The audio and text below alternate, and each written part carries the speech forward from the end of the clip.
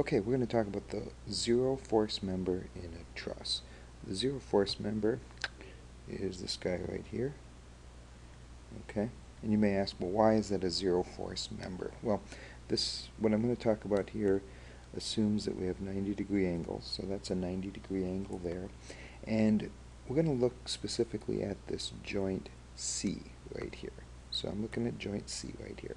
So let's do a little free body diagram of joint C and see what it looks like. So we'll take the joint and we're going to take the member going CD off to the right and CB off to the left and CA going up. Okay? And if we assume that all of our unknowns are in tension, let's draw little arrows on here. Okay. So we have one up and one to the left and one to the right. And again, this is a 90 degree angle.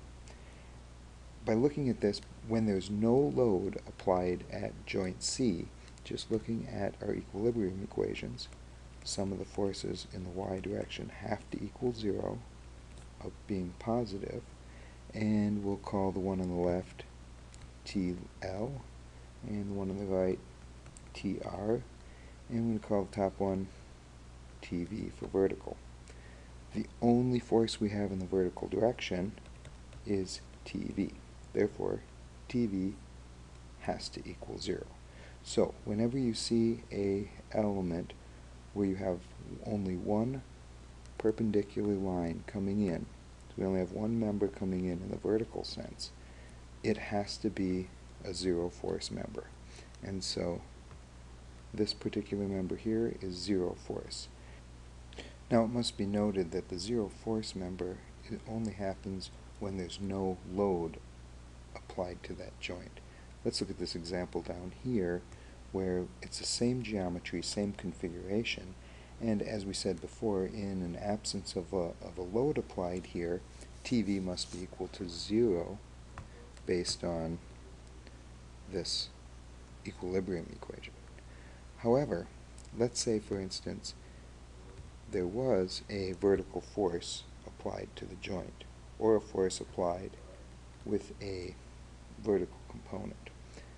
If we look at our, sum of our, of our forces in the vertical direction now, sum of the forces in the y direction must equal zero, up being positive, you'll see that we have a p going down, and we have our TV going up.